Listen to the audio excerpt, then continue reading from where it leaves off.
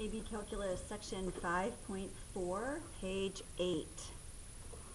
Okay, we are given the graph of y equals f of x and some other function h of x, which is the integral from 0 to x of f of t dt. So the first thing that I want you to do is to label this function. This is y equals f of x. And we see our window over here set at x between 0 and 12. So x 0 up to 12, counting off by ones. So that puts that 6 right there. Um, y values between negative 4 and 8 up here. Okay, so now let's look at this one. We need to find h of 0. h, the h function is this right here. So h of 0 is going to be to replace this x with 0. h of 0 is the integral from 0 to 0 of f of t dt. That means find the area underneath this f function from 0 to 0, which is nothing, 0.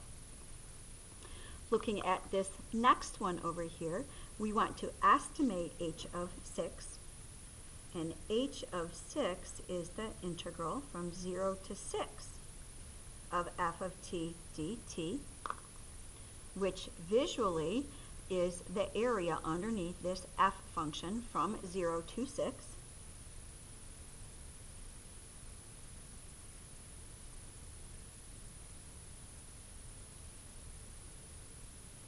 which is that. And we don't know the the equation of f of x, so I can't do an antiderivative on this one. What we can do is estimate h of 6 by using three rectangles. And let's just divide this up into three regions here, where each region is 2y times, and then the height Let's use midpoint height. Those are the most accurate of left and right, or midpoint. So I see a height here of about maybe seven and a half or so, plus this middle rectangle, maybe a height of five, plus this last rectangle here, height two. That's going to give us 2 times um, 14 and a half, which is 29. So h of 6 is approximately 29. All right, let's look at this. When is h increasing? All right, we do not have a graph of h. We can still talk about when is h increasing. h is increasing when h prime is greater than 0. We don't have h prime either, but we do have h. And we can take a look at this. To find h prime, that means to do a derivative on h.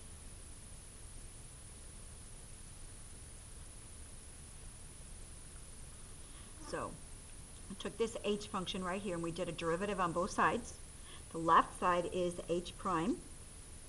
The right side is the derivative here. Oh, look at that, a derivative of an integral.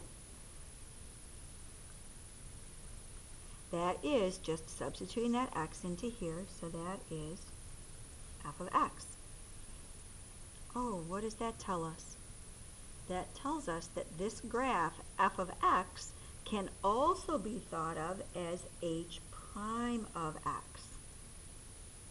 So now we can look and see where is h increasing.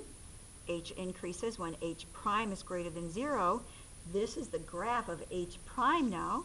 So h prime is greater than 0 when x is between 0 and 6.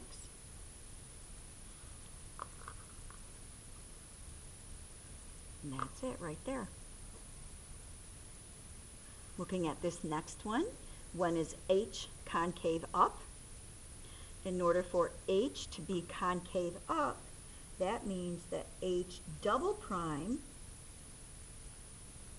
is greater than 0, which means H prime is increasing. Oops, is.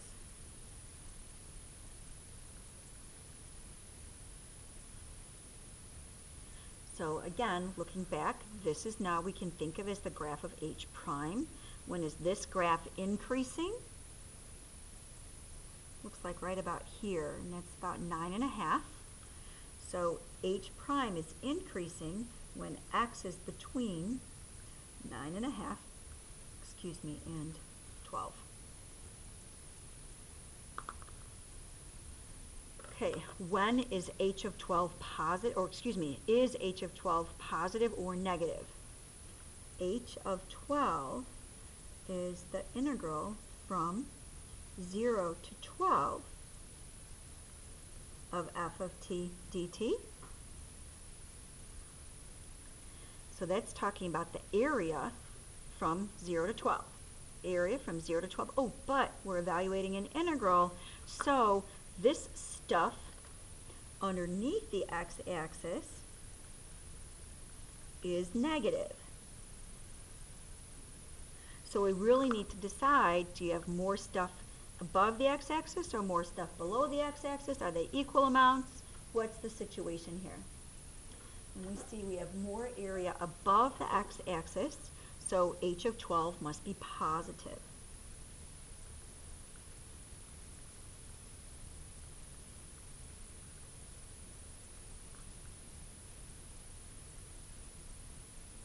More area above the x-axis.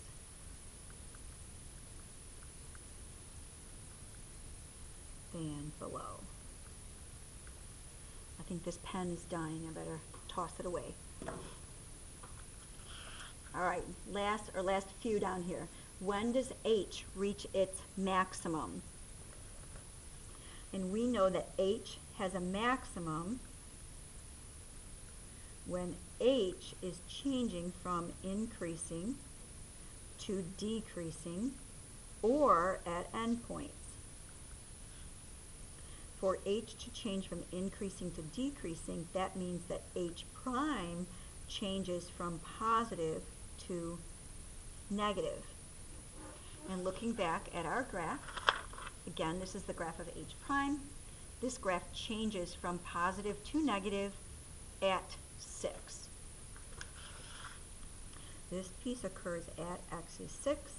The endpoints are at 0 and 12. So we need to compare h of 6 versus h of 0 versus h of 12. H of 6 we uh, determined earlier today and or on this page at part B that was about 29.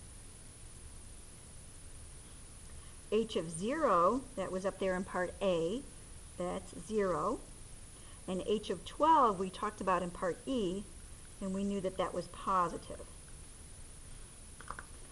All right, looking for a maximum on h. Clearly, 0 is out. And now we just need to decide, is it at 6 or at 12?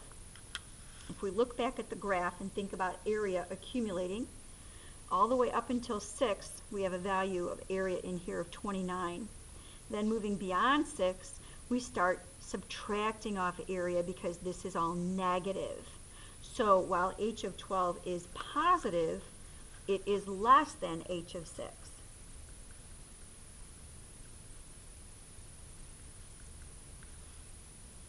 So answering the question here, when does h reach its maximum value?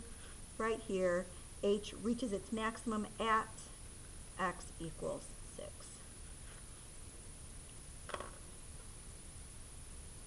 All right. How about when does h reach its minimum then? And for h to have a minimum, that means that h has to change from decreasing to increasing, or at the endpoints, which means h prime has to change from negative to positive. And looking back at our graph, h prime changing from a negative value to a positive value. does not happen. Endpoints then, same, x equals 0, x equals 12. So we will have to compare h of 0 versus h of 12, which we've done. h of 0 is 0, h of 12 is a positive number. And we want the minimum value here. Minimum value occurs at x equals 0.